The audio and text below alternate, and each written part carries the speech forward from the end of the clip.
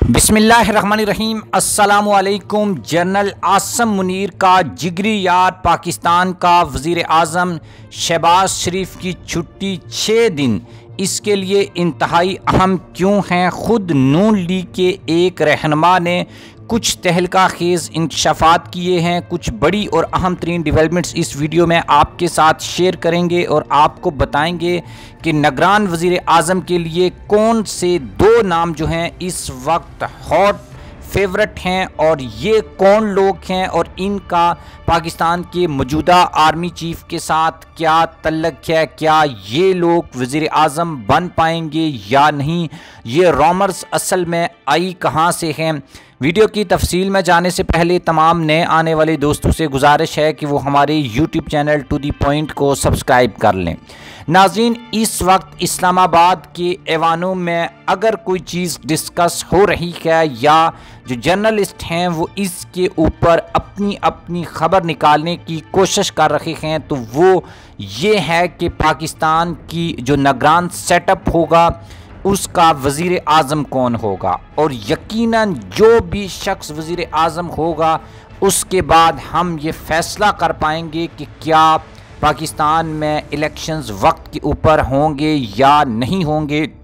जैसे पंजाब में जब मोहसन रज़ा नकवी को पंजाब का वज़ीर आला बनाया गया तो उस वक्त ही कई एक जर्नलिस्ट जो पाकिस्तान की सियासत के ऊपर और पाकिस्तान की सियासत के तर्ज और हकूमती मामला के ऊपर एक ग्रिप रखते हैं, उन्होंने उसी वक्त ये कहना स्टार्ट कर दिया गया था कि मोहसन रज़ा नकवी को सिर्फ़ चंद माह के लिए नहीं लाया गया, यानी केयर टेकर जो सेटअप है, उसको देखते हुए ही ये लग रहा था कि ये जो सेटअप है, ये लॉन्ग रन चलेगा।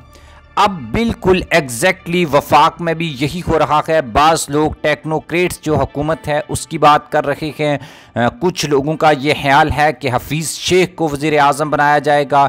कुछ लोगों का मतलब ये कि मुख्तलिफ़ किस्म के नाम सामने आ रखे हैं। इससे पहले एक वीडियो में मैंने आपको बताया था कि नजम सेठी के हवाले से भी एक डेवलपमेंट सामने आई थी, वो भी लॉबिंग कर रहे हैं।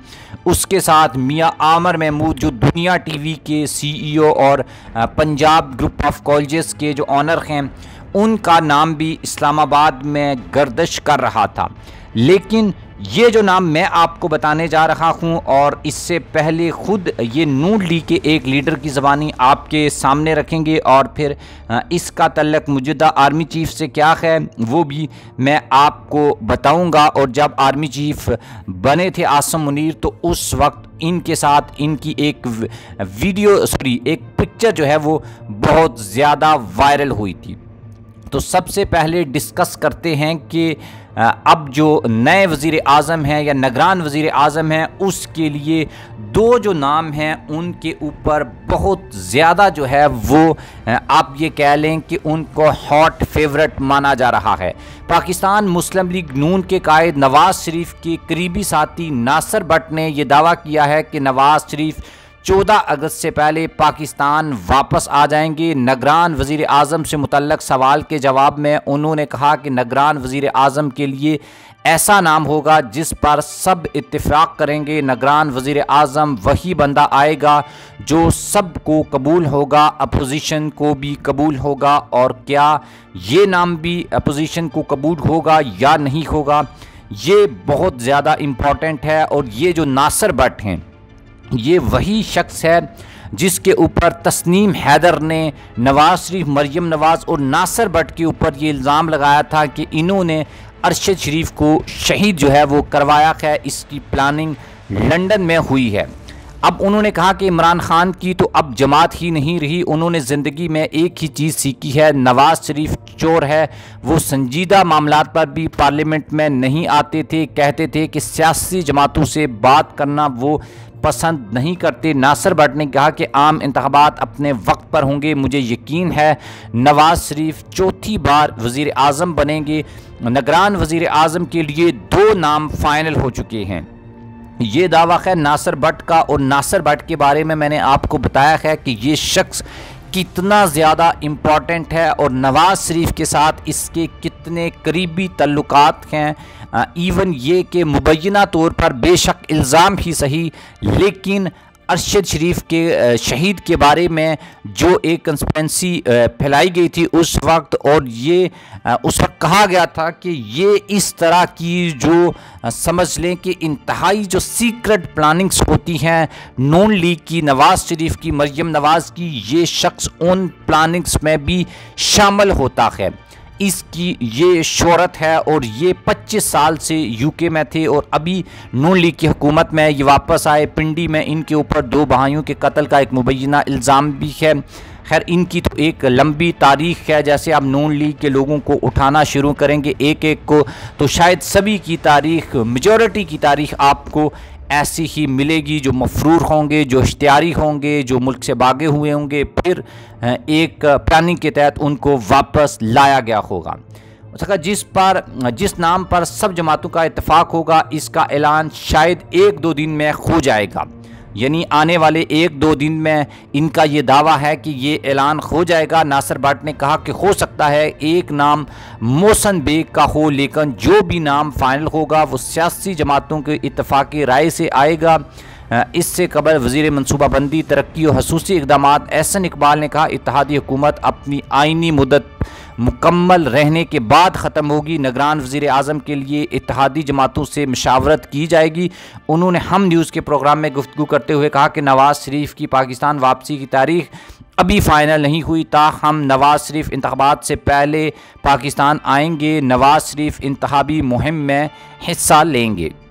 अब बात मैं करता हूँ वो बात जो वीडियो के स्टार्ट में मैंने आपको बताई थी, मोहसन रज़ा, सॉरी, मोहसन रज़ा नकवी की बात मैं करूँ, मोहसन बेग जो हैं, ये उस वक्त बहुत ज़्यादा हाईलाइट हुए थे जब मौजूदा army chief general Asim Munir sorry, army chief बने थे।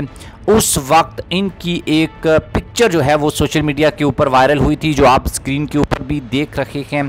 उसमें मौसन बेग और आसम मुनीर साहब एक दूसरे के साथ बैठे हुए हैं और इनके बैठने का जो अंदाज़ है और जिस तरीके से ये क्लोजली बात कर रहे हैं, इससे आप ख़ुद अंदाज़ा लगा सकते हैं कि ये जो चीज़ है या इस तरीके से जो बातचीत है, वो उन दो लोगों के दरमियान ही हो सकती है जो वेरी क्लोज हों और एक दूसरे का मतलब ये कि जिसे हम पंजाबी में कहते हैं जिगरी यार हों।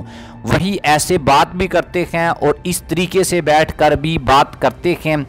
ये इस वक्त बहुत इंपॉर्टेंट है और उस वक्त ये तस्वीर भी सोशल मीडिया की जीनत बनी थी और उसके बाद मोहसन सॉरी मोहसन नकवी बार बार मैं मोहसन नकवी कह रहा हूँ, मोहसन बेग ये हॉट फेवरेट नगरान वज़ीर आज़म माने जा रहे थे और अब नासर भट्ट ने भी इसका, यानी इसकी तायद की है कि मोहसन बेग, उनमें से एक नाम हो सकते हैं। आया कि मोहसन बेग के ऊपर पाकिस्तान तहरीक इंसाफ या फिर दूसरी जो पॉलिटिकल पार्टीज़ हैं, वो इत्तेफाक राय करेंगी या नहीं करेंगी, लेकिन पाकिस्तान में उस नाम के ऊपर हमेशा इत्तेफाक कर लिया जाता है, जो ताकतवर हलकों की जानब से आता है और ताकतवर हलके जिसके सर के ऊपर हाथ रखते हैं।